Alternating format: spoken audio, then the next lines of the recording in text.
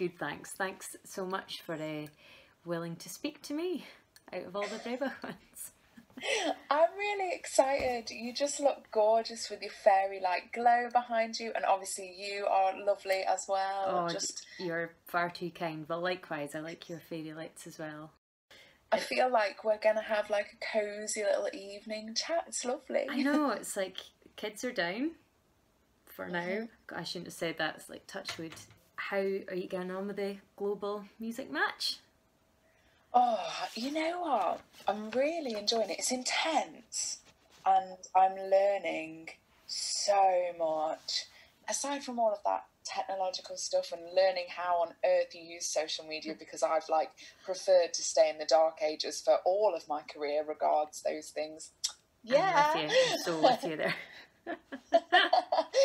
um, but aside from that, it's just so lovely, right, to be able to hop online and shout about other artists. I feel like we've been given the agency to to to share audiences and opportunities with each other, not wait for it to be gifted on high by some great gig opportunity, but to just, you know, shout out about some of the incredible people that we've been able to connect with. And I feel really lucky to be in a team with you guys because, gosh, we must have shared a million bills over the course of our careers at festivals, um, but never actually had an opportunity to properly connect. So, uh, you know, as well as all the international folks, it's so great to be paired with Breabach. Oh, well, likewise, I was saying to the guys, say, when we, you know, when I first uh, knew that we were being paired up with you, I was like, oh, this is great because I think I met you, like, I've only, uh, in person, I've only maybe met you once or twice before, yes. and like you say, there are many bills, but, you know, as festivals kind of go, you're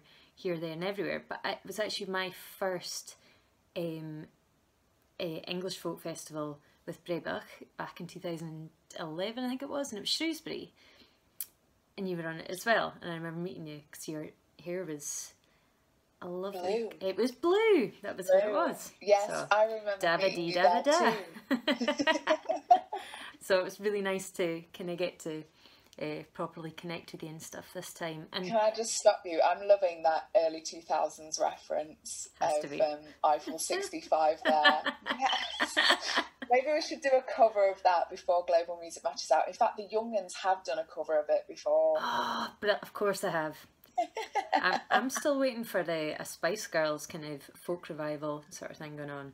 Um, yes. I'm very Who was your favourite Spice Girl, Megan? I need to know. Baby Spice. Yeah, I like the way you said that with just like, how could you like any other Spice Girl? And you? Ginger Spice, oh, all the way. Yeah, absolute girl power. Can you give me a, give us a wee bit kind of background, a bit of Cilla Black moment for you? What's your name and oh. where do you come from? so Cilla I'm Lucy. I'm from Derby, which is right smack bang in the middle of England if you popped a pin in the map. And um, and I am a singer songwriter and uh, interpreter of traditional song. Um, I started out like um, most of us did. Um, I didn't grow up with folk music, but I, I, found it accidentally when I got a guitar, age fourteen, and just mm.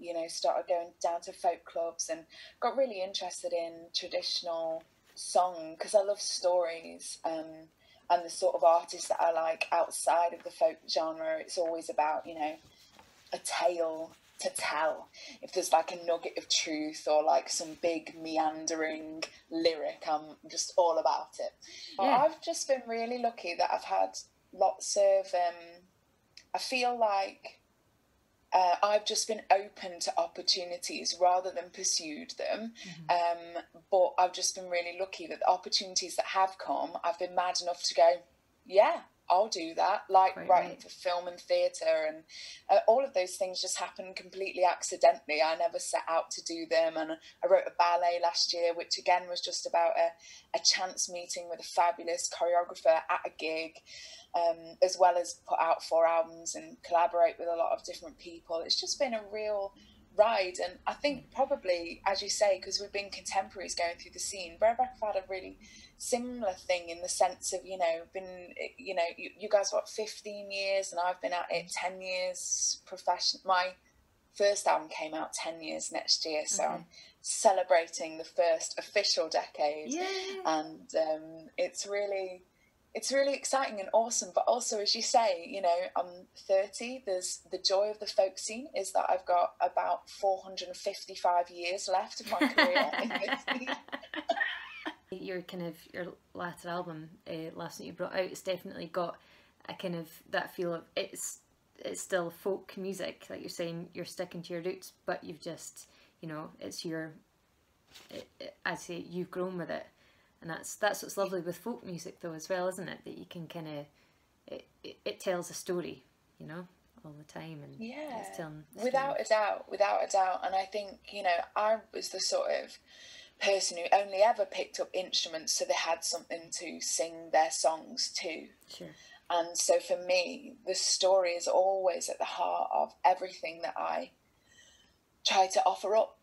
You were um you led me to it was the, the song was it one about the, the mermaid oh the mermaid song yeah so mermaid i wanted song. to talk about this yeah. because it has a scottish connection so um, back in my roots i mm-hmm. have scottish ancestors and there's this brilliant family story i'm going to say true story even yeah. though it's about a mermaid because they're real you know, they're real. They are. So, oh, so many Gaelic songs. So many Gaelic songs got mermaids on them. There you go, you see. You have to be careful who you say to people like mermaids are real too, but I'm glad we've got this thing yeah. going on. I know I know um, Ariel. personally. Yeah.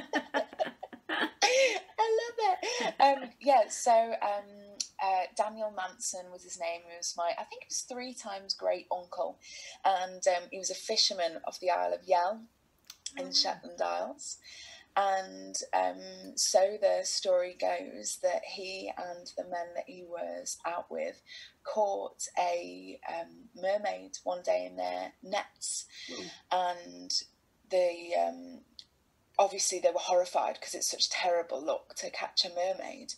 Um, but they um, kind of wrote down very quickly what she looked like because they were so startled by catching this creature um, and before they slipped her back into the sea and she swam away. But they described her as this small blue human with a moon like face and big round eyes and, and kind of long human fingers and a fish tail. And um, and uh, yeah and then when they got back to shore because they were just like, oh my god, this is ah. I imagine yeah. they were like ah in the eight, early eighteen hundreds, and uh, they went back to shore and they had to tell the justice of the peace everything that had happened. So there's fantastic um, uh, kind of documented stuff um, about what these men saw, mm. and he hmm. never went out to sea again because he believed, you know, in the bad in, in that he brought bad luck in it, it, and he couldn't go out on the water again after that day. And it was just this family tale that I'd known for a million years, as we do about our own yeah. ancestors. Um, and then it kind of dawned on me that that is a folk song. Why on earth have I not written that song before? That's brilliant. Um, so yeah, so I respun the mermaid a little bit as more of the mermaid that we expect from folk culture, you know, a gorgeous siren like person. But yeah, and Daniel and the mermaid is what came out. You talked uh, briefly about the, um, the ballet, the folk ballet that you're involved in. I'm very sad that I wasn't asked to be a part of that. I used to be a ballerina back in the day. what? Are you serious? say back in the day, way, way back in the day. hey man, I have no movement experience at all. So, you know, if I'm allowed to be part of it, this is very exciting news, Megan. You may have just got yourself a gig. Oh my goodness. I'm, yeah, I'm game. I'm not working for the rest of, well, you know, probably the rest of the year, so. That's it. Dust off those ballerina oh, shoes. Oh, Stick that. on a tutu. yeah, as I say, it was a, a chance meeting fabulous um, uh, woman, now my collaborating friend, but fabulous woman that I met at a gig called um, Deborah Kate Norris. And she um, was lecturing at, uh, um, at Edge Hill Uni in dance and been a dance teacher and dancer all her life. Anyway, she just said, oh, I, I use your songs um, in some of my uh, performances that we um, put on. And now, of course, as you well know, when people tell you that your song's gone off and had a life that you just never would have expected, it's really flattering and heartwarming, and it's just like, oh wow!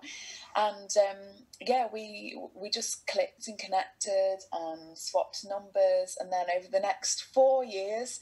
Um, she started a PhD. I had some children. Eventually, we were just like, we have to do a ballet. We've got to do a full Brilliant. ballet. So I wrote all of the the, the lyrics, but um, I wrote the music with Helga Ragnarsdottir mm. and um, and Anna Esslemont. So we got ten minutes of the, it together, and we took it down to the Women in Folk conference that um, English Folk Dance Song Society put on, mm-hmm. and um, just to see if anybody really thought that this was a thing we should develop. We just needed some feedback to know if we were absolutely insane. and um, we were the first people to speak in the first morning um, session of the conference, and there were like 12 people in the audience, one of which was Shirley Collins. So I was like, and um, and we did the we did the 10 minutes of the ballet and talked about it as an idea. And thankfully in the audience there was rebecca stewart um, from cambridge folk festival. And she'd previously been a dancer a bit like yourself dancer turned folky. And um, and she just saw something in it and commissioned it for the um, opening act on the main stage for cambridge. And that's what Ooh. gave us the the go ahead. You'll have to have to let us know when it's on and I'll be there backstage just in case somebody, you know, breaks a leg. Definitely. Well, uh, we're going to be touring it next year, and um, and we are working on um, the stories for the next the next instalment, the next part of the story for the Hen Wife. So yeah. it's just so exciting to me, and it inspires and motivates me in different ways to my own um, kind of normal offering. So yeah. Uh, you briefly touched on uh, having a wee one away with you uh, on tour. How do you, well, as a, a very new mum, how do you, I'm like really interested to know, how do you juggle the kind of work commitments and responsibilities with the wee ones and being away on tour? Obviously, just now we're not away on tour, so I've kind of got that luxury, I suppose, of being at home and kind of, you know, having this time. But I would love to no. What's the secrets? Please tell me them no all. secrets. I think, I think the um, the key is don't take them on tour. No, no, no. Um, it's it's definitely a really really strange one because you know most although we'll have the joy of not um, you know having this blessed year off. You know that it, it, typically employed people have this year off and then they go mm. back to work, and that's kind of it, isn't it? They're in the childcare routine, and we'll have this time where we are there and sharing adventures with our kids at gigs and stuff. But it does mean we start working so much sooner. And with my eldest, I was um, I started back at ten weeks, and then with my youngest, yeah, he was he was just shy of a month when I played Cambridge. Wow! And and yeah, I, it was a little bit mad. It was a little that's, bit mad. Uh, that's amazing. You're. I, yeah. I can I can hardly go to the shop yet. It's. Mate, I was a shriveled heap on the floor by the end of the day with all the emotional exhaustion of just what doing that does to you. But, you know, he was fine and it was all great. And, you know, I was really lucky to have lovely support network of my husband and my mum coming to help. But um, yeah, I mean, children at, at, at, gigs is the is such a strange balance, and I think for mm-hmm. me, it's like switching your brain from mum brain to performance brain, because you know, like in gigs of yore, right, we might have taken an hour to get ourselves ready, not because we're vain, but just because it was part of the ritual, right? Absolutely. Like, I'm yeah. getting ready, I'm warming up, I'm putting my gear on, bit of war paint, on we go. now it's like I'm in the car like this, trying to like get my makeup on and um, and you know nurse my little one enough that he might sleep till the interval. Yeah. Pray, pray, pray and um, and all that kind of stuff. So it is it's a mad juggle. But I, I tell you what I found is that that um, that audiences are very kind, Yeah. and actually the kind of uh, you know I, I've had a lovely response to the humanness of me getting into a gig, playing a few songs, and then going. Gosh, I actually feel like I'm here with you now. Yeah. Thanks for bearing with that. I'm in the zone now. Let's have a party.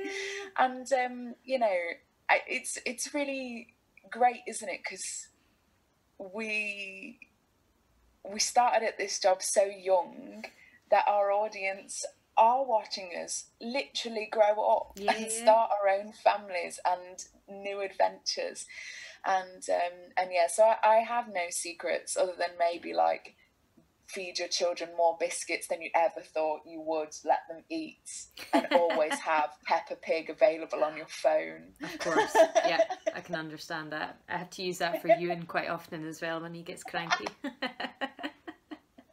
Um, yeah, so um, I've got new music coming out at the end of the year. It's um, it's actually an EP that I wrote um, in conjunction with a fantastic project called Stories of Change for the Open University, and those songs have been um, sitting there on kind of a platform being used, and the time is just right now for them to come out in a wider way to the public. Um, so people can you know keep keep an eye out for that. And aside from that, I've got some live streams and a few real gigs, but we'll see if that you know uh, real as in in a venue with people gigs um, planned. But you know we'll have to just see what happens with those. But um, I've been so um, surprised and like touched and moved by how kind my fan base has been to to follow me online during these times and to watch me fumble around with working out how to do this online. Um, and I, I don't know about you but it's just it's um it's just been lovely that people have maintained their interest in live music even though they can't go and see it right now thank you, Thank you. for keeping us a little bit sane. I had uh, a wee idea for just a quick fire round. yes Questions. Your favourite gig that you have performed? Shrewsbury Folk Festival main stage with my band 2015. Ooh, nice. Favourite gig you have been to? Probably Bowie at Glastonbury, or maybe. You, you went to see Breabach, yeah, Breabach and Shrewsbury. That was your favourite gig. I heard that too. Great. No, actually, I think my favourite Breabach gig that I've ever seen was Warwick. Maybe you guys have, yeah, you guys have played Warwick, Yeah, right? I'm Warwick, yeah, remembering yeah. somewhere. And um, and I was just with a group of people who actually like to dance. I love to dance. I'm not a ballerina, but I love to just Yeah. like. woo. And um, I was finally just found myself with a group of people who wanted to go nuts at your gig. So I was down the front like, yeah. I think I, I, totally remember the one. Okay, another uh, quick question. Favourite road services? Oh, oh, Tebay. Oh, classic. And if there's a track for our audience uh, to listen to to kind of showcase you, what what track would that be? Oh my god, you could have warned me about that question. Sorry, that's so that's, hard. That's a hard one. I, I kind of want you to say I kind of want you to to say the the oh, I always forget it wrong the Falurum song. Cause they got no falorum, faliveriorum. They've got no falorum, faliveriorum. They've got no falorum. They've lost their ding dorum. Darnades when you're young, Never wed an old man. Yay! that was on my first album. It's a song that's been with me as uh, uh, for many years, and of course, it's a real like standard of the tradition. yeah. Um, but it is a song that um, that when I do whip it out at gigs, it's always just so so fun, yeah. and you know we're all singing along together. So yeah, I think I think that's a good shout. Nice. And otherwise, I suppose I don't know for the Dead Men, which is kind of my my uh, song that's a reflection of the times we've been living in, really, for the last ten years, where um, prophets are always chosen over people, and kind of my uh, frustration at that, and my song of solidarity and support to the people in the world who want to live in, a, you know, in a society that cares about people. That Yeah. that would be one. They're probably kind of like the two ends of the spectrum. The That's cool. happy, Yeah, yeah. bawdy, fun, which I do like to sing a lot of those kind of songs, and the kind of more uh, storytelling. For sure. I've got something to tell you guys. Yeah, absolutely. Well, listen, we'll get them get them listen to it, and I think for now I should say night night, and thanks so much, Lucy, uh, for for chatting to me. See you online somewhere, and hopefully see you at Tebay services as well. Oh my gosh, I'll be there. Nice. You'll know me. I'll be wearing a Union Jack dress. Oh yeah. you see me pigtails, pink dress. Those we have to um, make this Spice Girls thing happen. Thank you so much for chatting to me. not at all. Night night. Cheers.